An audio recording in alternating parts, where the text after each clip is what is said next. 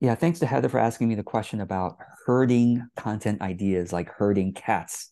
Uh, they're just they come in random times, and how do you then take all those random ideas and actually turn them into content like blog posts, videos, and things like that? And I'll just quickly uh, summarize my content workflow. And uh, if you have questions, you can chat below. And uh, uh, most of you are seeing this in the Authentic Content Flow course. So we will go much more in depth into all these content workflow things. But here's the summary of how I do it. First thing I do is when ideas come to me, uh, and I'm going to show you on screen. Um, the first thing I do is to capture them into my To Todoist category called video ideas. And why do I call it video ideas and not, um, you know, blog post ideas? Well, it's kind of a remnant of the time where I could not write. I was so blocked for most of my life with writing that I hated writing. And what I could do though is I could talk about things on video. Like I, I practice, practice, practice, practiced so much to finally get not shy on video. And I was able to still do that better than I could do writing. So anyway, that's why video for me originally was the first place that content happened. Um, nowadays, I've gotten practice, practice, practice, practice. I now no longer mind writing as much. So I actually write now before I do make videos. Doesn't matter. Long story short, some of you might want to do videos first. Some of you might want to write first. The point I'm trying to make here is have a place to capture your ideas as they come to you. Now, you might say, George, I'm in the shower and I use Aqua Notes, which is a waterproof paper notepad in the shower, and I write down my ideas there. Great. George, I'm walking my dog and I, you know, record a little idea on my voice memo. Great. You have all these different places, but at, at the end of the day, literally at the end of the day or the end of next day, uh, I, I call it capture categorized calendar, right? Like like all your random ideas, blog posts, aqua notes, voice memos, post-it notes should should be you should have a regular time, not should, but I find it really helpful to have a regular time, like at the end of each workday, to corral those ideas into a single place like this, video ideas, like I like like I'm showing you here.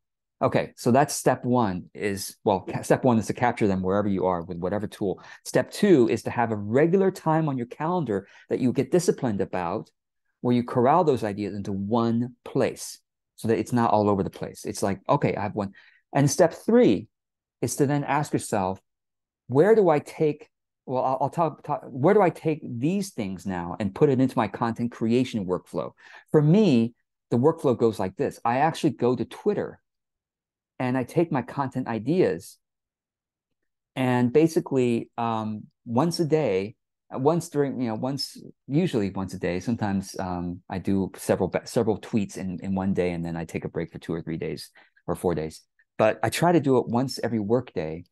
I will come into one of my content ideas, and uh, for example, um, you know, let's say I'm doing this, and and then I will go to Twitter and I will tweet out my idea. I'll just I'll just start tweeting out blah blah blah blah blah blah blah, and then I'll click add tweet blah blah blah blah blah blah because it's only 280 characters, right? I just I just add add some ideas, and the reason why I do it on Twitter is I believe I have the right perspective about how to use Twitter. Twitter too many people, especially for small audiences like ours, right? If you have less than you know 100,000 people on Twitter, you have a small audience on Twitter, right? So for small audiences, people think, ah, Twitter is a you know content promotion. No, Twitter is not a content. Twitter is a public journaling tool. Twitter is a tool for, hey, um, what if uh, I have an idea and I don't want someone in the future to go, you took my idea. No, I did. I tweeted this out in January of 2023 you came out with your book in Jan in February of 2025, but I already tweeted it. I'm not going to sue you. I'm just saying that don't sue me because I already had this. Like, so I use Twitter as a timestamp for the public that I have this idea. I, am not. I'm never going to. I don't care about copyright, as you might know if you follow my stuff. I, everything's uncopyrighted. I don't care about suing anybody or telling anybody cease and desist. I don't want people suing me and telling me cease and desist because look, I came up with the idea three, five, ten years ago. You can see the Twitter timestamp is true. So I use Twitter as public journaling because I want to get ideas out there as soon as I can. Um, in part to lay claim to the fact that I I had the idea, you know, other people can have the idea. So so public journaling, Twitter, great, great for it. And so I try to show up once a day on Twitter or once every several days, several tweets to like, here's a here's an idea. So that's that's how I take my my wrangled ideas, you know, in my video ideas to do list into my Twitter, and then every Friday, or I, will summarize it. Just pretend that I only create content on Fridays. I actually create content a little bit uh, on other days, but let's just say I create content on Fridays. I write a blog post and I make a Facebook Live on, on Fridays. Okay. So when it comes Friday for me the time to to write the blog post and make the video, I go to my I go to my Twitter, right? I go to my Twitter threads, and here's what I do. I go to my Twitter threads, I basically scroll down and I go, hmm, which one has the most likes? Oh, this one has the most likes, 11 likes, right? This one only has two likes. This one has zero likes, zero likes. This one has 11 likes. So I'm going to go ahead and make a blog post slash video about this. Now, I've already um, I've already uh, replied to myself several times. You know, it was a Twitter thread, so that I have I have additional ideas that will that this all goes into a single blog post slash video. Does that make sense? So that's my workflow, and so I take it from the shower to To Todoist, my video ideas uh, Todoist. Those of you who don't know what I'm talking about, my my um my my video ideas category is using the software called Todoist. You know, it's it's one of my projects and video ideas or blog post ideas. Or so I take from shower to Todoist, wrangle them here to uh, when I go to Twitter once a day, I look down whatever I feel energized by. So that's the thing.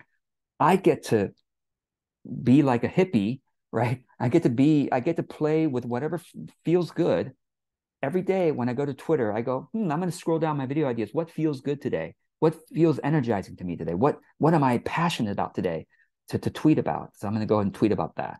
Okay. And when, once I'm done, of course, I click the checkbox and it disappears from here. So I take it from that to here to Twitter.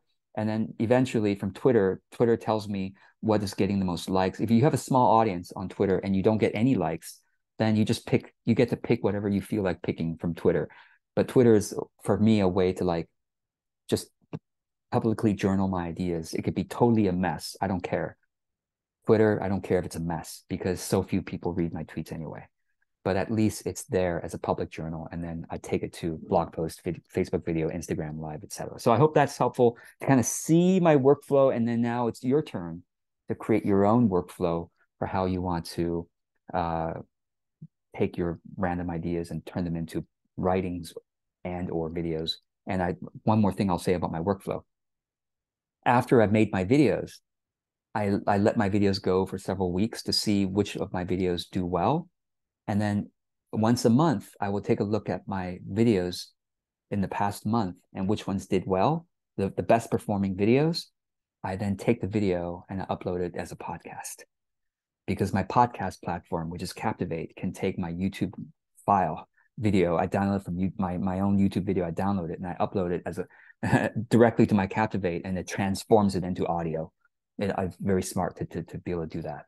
So that's my entire flow. Now I have writings, videos, podcasts, of course, also tweets, and so that's how it works. And eventually, several weeks later, I look back at which of my writings did well, and I t- transform them into Instagram carousel posts. That's a, that's another part of my content workflow. So hope that helps.